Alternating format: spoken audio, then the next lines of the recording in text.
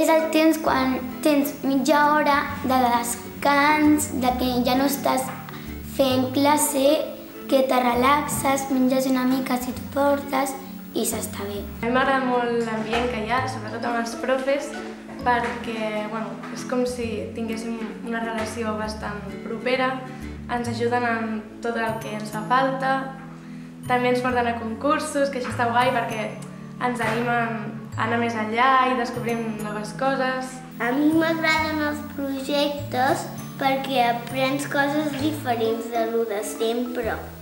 Pots aprendre, per exemple, l'espai o les plantes i així aprens més coses. Una de les coses que m'agrada d'aquest col·le és que s'utilitza molt el treball cooperatiu i va molt bé per fer la feina, ja que no només t'ho passes bé, sinó que també aprens a estar amb els altres, a conviure amb ells i a respectar les idees de cadascú.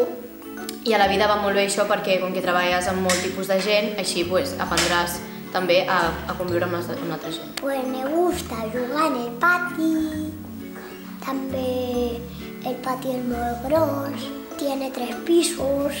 A mi m'agraden les mates perquè els professors són molt bons a fer les mates, però les mates no és una classe normal, sinó que és una classe que fem també amb tablets i ens expliquen moltes coses. M'agrada molt perquè tenim eh, un poliesportiu on podem fer diferents esports, podem fer bàsquet, futbol, voleibol.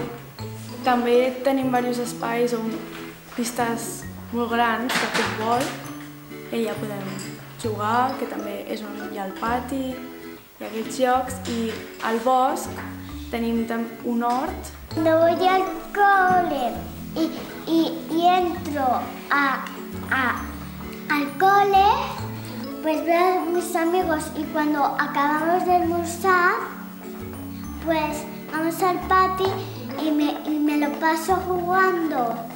La Míriam. L'anglès a aquesta escola s'ha millorat molt últimament, fins al punt d'arribar a incluir classes eh, extra, diguem-ne, amb professors natius i, eh, per exemple, a batxillerat tenim una classe on ens ajuden a practicar speaking entre nosaltres, fem activitats diferents, eh, practiquem converses, diàlegs, etc., que ens ajuden, ens ajuda a millorar l'anglès de cara al futur.